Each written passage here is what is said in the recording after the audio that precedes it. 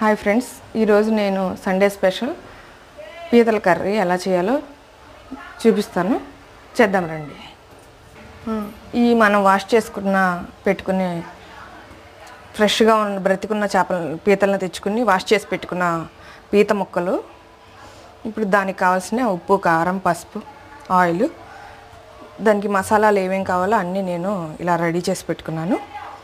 ఇప్పుడు నేను పొయ్యి వెలిగించుకుని అది ఉడుకుతూ ఉంటుంది. మసాలాలు ఎలా చేసుకోవాలో చెప్తూ ఉంటాను. ఉల్లిపాయ పచ్చిమిర్చి కొత్తిమీర కూడా రెడీ చేసి పెట్టుకున్నాను. ఇప్పుడు స్టవ్ ఆన్ చేసుకుని ఎలాగో చేద్దాం.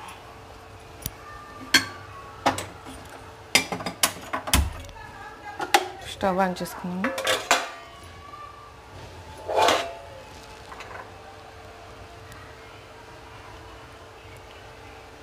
ఆయిల్ పోసుకున్నాను.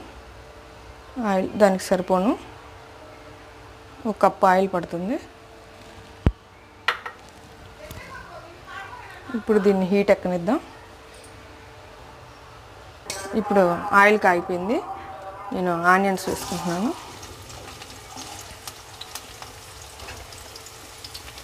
ఆనియన్స్ పచ్చిమిర్చి.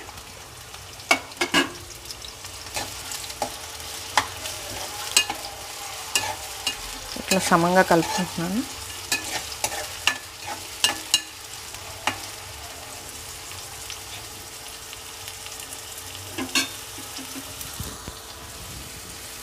ఉల్లిపాయలు ఎర్రగా వచ్చే వరకు వేయించుకోవాలి. ఇ- ఇవాళ రోజుల్లో ఉల్లిపాయల రేట్లు ఎలా ఉన్నాయి ఫ్రెండ్స్? ఉల్లి కట్ చేస్తే నీళ్ళు వచ్చాయి. ఇంతకుముందు ఇప్పుడు ఉల్లిపాయ కొనాలంటే నీళ్ళు వచ్చేటట్టు ఉన్నాయి ఫ్రెండ్స్. అయినా ఏం చేస్తాం? తప్పట్లేదుగా. వండుకోవడం తప్పట్లేదు ఏది తప్పట్లేదు. రేట్లు పెరిగి పెరుగుతూనే ఉన్నాయి.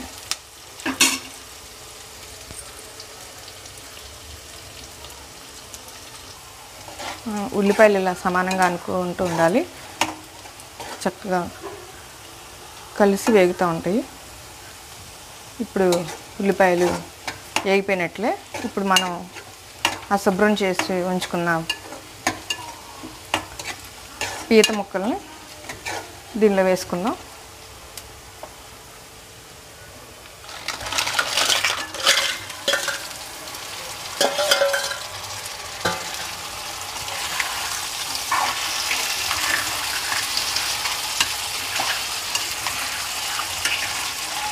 ఇప్పుడు కొంచెం పసుపు వేసుకుందాం.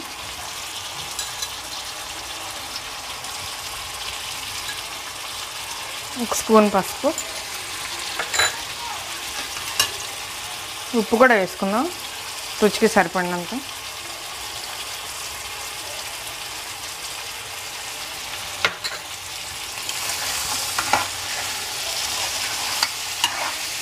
ఇవన్నీ సమంగా కలిసేటట్టు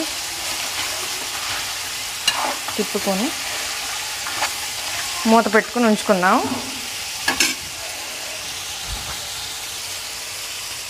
ఇప్పుడు నేను దీనికి ఏమేమి మసాలాలు కావాలో ఇది వాటర్ ఎగిరేలోపు మనం మిక్సీలో ఏమేమి కావాలో అవన్నీ మసాలాలు వేసేసుకుందాము. ఈ వాటర్ ఎగిరేలోపు మసాలా తయారైపోద్ది. నేను దానికి కావాల్సిన పదార్థాలన్నీ ఇందులో పెట్టి ఉంచాను. ఇప్పుడు దానికి కావాల్సిన పదార్థాలు ధనియాలు జీలకర్ర కొంచెం చెక్క లవంగా ఒక యాలుక్కాయ అల్లం అల్లం వెల్లుల్లి అల్లం నేను ఇలా తీయకోకుండానే వేసేసుకున్నాను. కొన్ని కూరలకి ఇలా తీయకోకుండా వేసుకున్నా బాగానే ఉంటుంది. అల్లము ఇది వచ్చి ఎండు కొబ్బరి ధనియాలు. ఇవన్నీ మనం ఇప్పుడు ఒక మక్స్ మిక్సీ జార్ తీసుకుని వేసుకుందాం. ధనియాలు ఎండు కొబ్బరి జీలకర్ర చెక్క లవంగ. యాలుక్క. వెల్లుల్లి. ఇప్పుడు ఇవి ముక్కలు చేసుకుందాం. మిక్సీలో ఎప్పుడు కొంతమంది ఇలా రౌండ్ షేప్లో ఇలా వేసేసుకుంటూ ఉంటారు. ఇట్లా తీసి ఇట్లా ఇట్లా వేసేసుకుంటూ ఉంటారు ఇలా రౌండ్ షేప్గా. అట్లా వేసుకోకూడదు ఎప్పుడైనా మిక్సీ జార్కి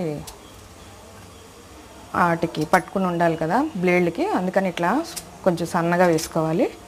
ఇట్లా వేసుకుంటే బాగా వస్తాయి. సన్నగా స్లైసెస్ లాగా ఇలా వేసుకోండి. కొంతమంది తెలియక అలారం షేప్లో వేసేసుకుంటారు అనమాట నేనైతే ఇప్పుడు ఇలాగే వేసుకుంటాను. బారుగా.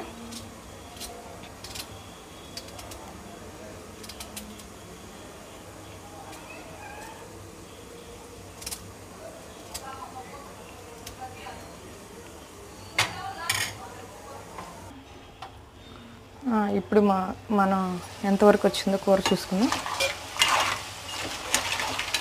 కూర ఎందడ నల్లగా అలా కనపడినాయి కదా ఈ మొక్కలు ఇవన్నీ. ఈ పీత కాళ్ళు ఇవన్నీ. ఇప్పుడు చూసారా? ఎంత ఎర్రగా కనపడుతుంది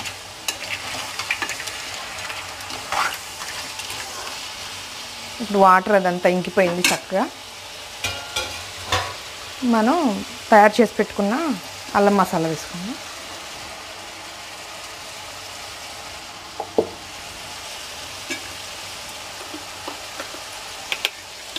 నేను అల్లం మసాలా వేస్తున్నాను అల్లం వెల్లుల్లి అన్నీ కలిపిన మసాలా.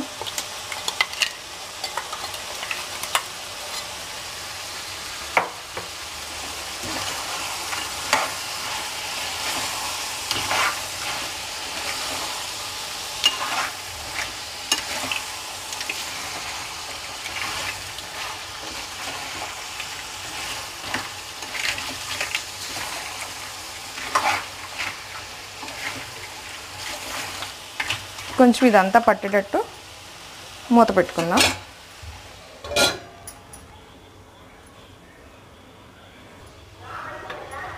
ఇప్పుడు తయారైపోయింది? ఇప్పుడు కారం వేసుకుందాం.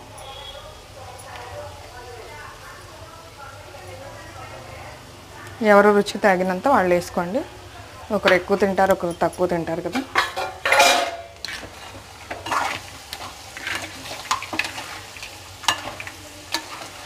మేమైతే కారం బాగానే తింటాము అందుకని నేను ఇంకా కొంచెం వేస్తాను. ఇంకా కొంచెం పట్టిద్ది.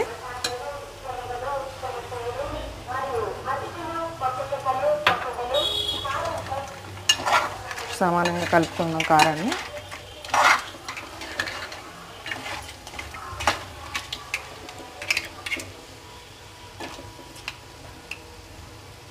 ఉప్పు కారం ఈ ముక్కలకి ఉప్పు కారం అంతా చక్కగా పట్టాలన్నమాట.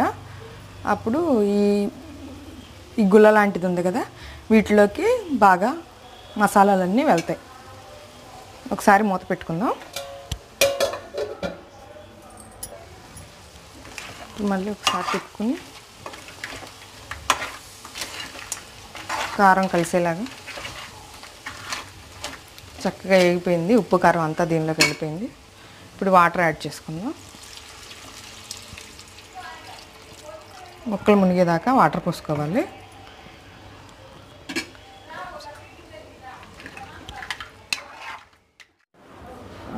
ఇప్పుడు ఒకసారి చూద్దాం ఎంతవరకు వచ్చిందో. ఇంకా కొంచెం వాటర్ ఇంకాలి ఇంకా కాసేపు పట్టిద్ది. కాసేపు మూత పెట్టి ఉంచుకుందాం. ఇప్పుడు మనం ఎలా తయారైపోయిందో చూసుకుందాం. కూర తయారైపోయింది. కొత్తిమీర వేసుకుందాం.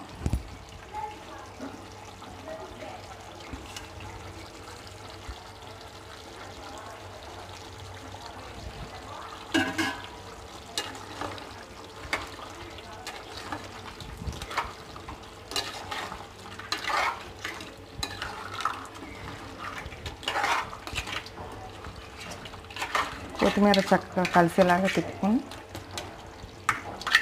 ఒకసారి మూత పెట్టుకుందాం.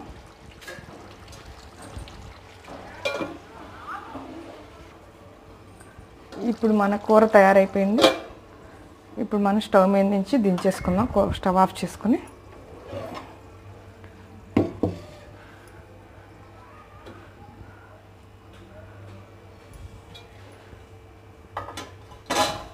ఇవి ఇలా కూర తయారైపోయింది. మన మధ్యాహ్న లంచ్కి రెడీ అయిపోయింది. ఇక తినేయడమే లేట్. మా ఈ కర్రీ మీకు నచ్చినట్టయితే మా ఛానల్ని లైక్ చేయండి షేర్ చేయండి సబ్స్క్రైబ్ చేయండి. Thank you friends.